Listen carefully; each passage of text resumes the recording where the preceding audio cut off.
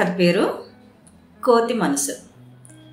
మన మనసు ఆలోచనలతో నిండి ఉన్నప్పుడు ఆ మనసు ఒక దాని మీద స్థిరంగా ఆలోచించకుండా ఉంటుంది. ఏమో అదైతే ఇది ఎలా అవుతుందో ఇదైతే ఎలా ఉంటుందో ఇదైతే ఇలా జరుగుతుందేమో ఇదైతే అలా జరుగుతుందేమో అని చెప్పి మనసు ఎప్పుడూ ఆలోచిస్తూ ఉంటుంది. స్థిరంగా ఉండదు. ఏదైనా మనం సక్సెస్ పొందాలి అని అంటే మనకి పేషెన్స్ చాలా అవసరం. ఆ పేషెన్స్ తోటి మనం ఆలోచించే విధానం కూడా చక్కగా ఉంటుంది. అది మనకి సక్సెస్ని తెచ్చిపెడుతుంది. చిన్న ఉదాహరణ మనం ప్రయత్నం చేస్తూ ఉంటేనే మనకి సక్సెస్ అనేది దొరుకుతుంది. ప్రయత్నము పేషెన్స్ మనకి ఈ రెండు కూడా జీవితంలో చాలా ముఖ్యం. ఇప్పుడు నేను చెప్పబోయే కథ పేరు కోతి మనసు. ఈ కథలో ఒక కోతి ఒకసారి ఒక చెట్టు మీద కూర్చుని ఆలోచిస్తూ ఉంటుంది. ఈ మానవులందరూ కూడా ప్రతి సోమవారం ఉపవాసం అంటారు ఏకాదశి ఉపవాసం అంటారు ఇన్ని ఉపవాసాలు వాళ్ళు చేస్తున్నారు. ఈ ఉపవాసాలు వాళ్ళు చేయడం వల్ల వాళ్ళకి ముక్తి లోకాలు పొందుతున్నాయని అంటారు. మరి నేను కూడా ఒకసారి ఉపవాసం చేద్దామని చెప్పి అనుకుంటున్నాను. నేను కూడా ముక్తి లోకాలు పొందాలంటే ఉపవాసం చేయాలి కదా అని చెప్పి ఒక కోతి ఒక ఆలోచనకు వచ్చింది. ఆలోచనకు వచ్చి వెంటనే తను అనుకుంది రేపు సోమవారం కాబట్టి నేను కూడా ఉపవాసం ఉంటాను అని చెప్పి అనుకుంది. అనుకుని ఆ కోతి ఒక తను ఉండే చెట్టు వైపు కూర్చుని ఎక్కడైతే పళ్ళు ఉన్నాయా అని చెప్పి చూసుకుంది. సోమవారం పళ్ళే తినాలి కాబట్టి ఉపవాసంలో పళ్ళు తినాలి కాబట్టి తను అరటి గెలలు ఉండేటటువంటి తోట దగ్గర ఉన్నటువంటి చెట్టు మీద కూర్చుని ఆలోచించడం మొదలెట్టింది. నేను రేపొద్దున్నే స్నానం చేసి చెట్టు దగ్గర కూర్చుని ఉపవాసం అంటే ఈ రాత్రంతా కూడా నేను ఏమీ తినకూడదు. రేపు పొద్దున్న తెల్లారిన తర్వాత నేను ఏదైనా తింటే పండు ఫలము తినాలి. సో అందుకని నేను ఒక అరటి తోట అరటి గెల కనపడేటట్టుగా చెట్టు మీద పడుకుంటాను. చెట్టు మీద పడుకుని దేవుణ్ణి తలుచుకుంటూ ఉంటాను. ఆ చెట్టు మీదటువంటి ఆ గెలని అందుకోవడానికి నేను ఒక ఇరవై గెంతులు వేసి చెట్టుని గెలని అందుకునేటట్టుగా నేను పడుకుంటానని చెప్పి ఓ చెట్టు కొమ్మ మీద కూర్చుని ఆలోచించటం మొదలెట్టింది. సరే కాసేపు అయింది తెల్లారింది ఉపవాసం మొదలైంది. నేను ఇంత దూరంలో కూర్చున్నాను. అరటిపళ్ళ గెల ఎక్కడో దూరంగా ఉంది.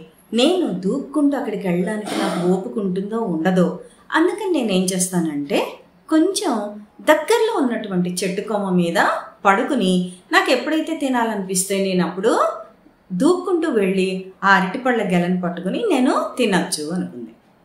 సరే కొంచెం నాలుగు చెట్లు దాటి ముందుకెళ్ళి చెట్టు కొమ్మ మీద పడుకుంది. పడుకుని ఆలోచిస్తోంది నేను ఇంత దూరంగా ఉన్నాను ఏమో నేను దూకగలుగుతానో దూకలేనో కాబట్టి ఇంకొంచెం ముందుకెళ్ళి ఇంకో చెట్టు మీద పడుకుని అరటి బళ్ళ కళ్ళ గెలను చూసుకుంటూ నేను ఆ పళ్ళ వైపు చూస్తూ నేను అనుకోవచ్చు అమ్మయ్య నాకు ఓపిక ఉంది నాకు ఎప్పుడైతే ఓపిక ఉంటుందో నేను అప్పుడు అరటి పండు తెచ్చుకోవచ్చు అని చెప్పి అనుకుంది.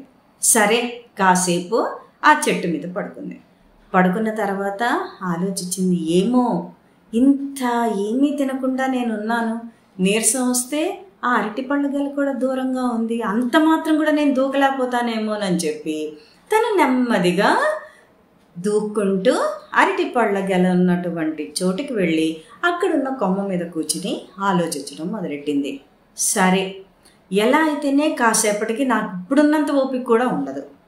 కాబట్టి నేను ఏం చేస్తానంటే ఆ అరటి చెట్టు మీదే అక్కడే పడుకుని నేను గెలను చూస్తూ ఉంటే నాకు ఎప్పుడైతే నీరసం వచ్చి ఎప్పుడైతే నేను పండు తినొచ్చో అప్పుడు ఆ గెల నుంచి ఒక పండు తుంపుకుని నేను తినచ్చు అని చెప్పి అనుకుని తను ఏం చేసిందంటే ఆ అరటి పళ్ళ గెల వైపు చూసుకుంటూ కూర్చుంది.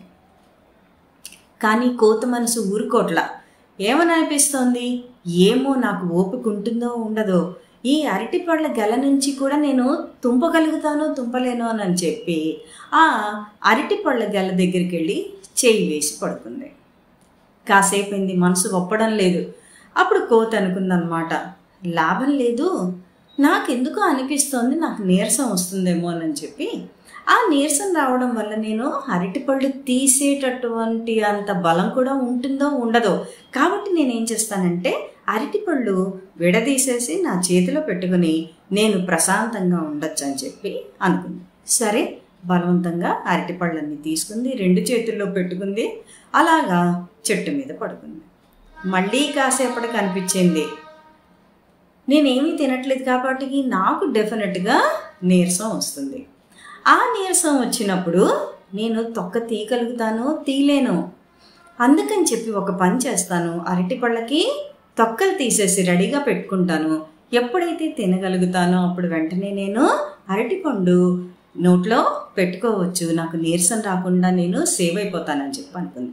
సరే అరటిపండు తొక్కలన్నీ తీసింది. పళ్ళు గుమగుమలాడిపోతున్నాయి. మంచి వాసన వస్తున్నాయి. కోత అనుకుందనమాట. ఆహా ఏంటి? అరటిపళ్ళు ఇంత మంచి వాసన వస్తున్నాయి.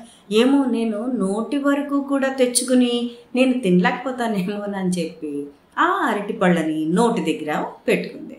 సరే పెట్టుకున్నాక అటు ఇటు చూస్తుంటే గబుక్కున ఈ అరటిపండు కోతి నోట్లోకి వెళ్ళిపోయింది. అయ్యో అదేంటి నేను తినకుండానే అరటిపండు నోట్లోకి వెళ్ళిపోయింది? అని చెప్పి చూస్తే పండు చాలా టేస్టీగా ఉంది.